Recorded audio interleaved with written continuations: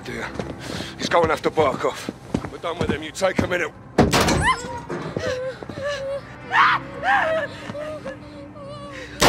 What the fuck, Sergeant? Are you bloody mental?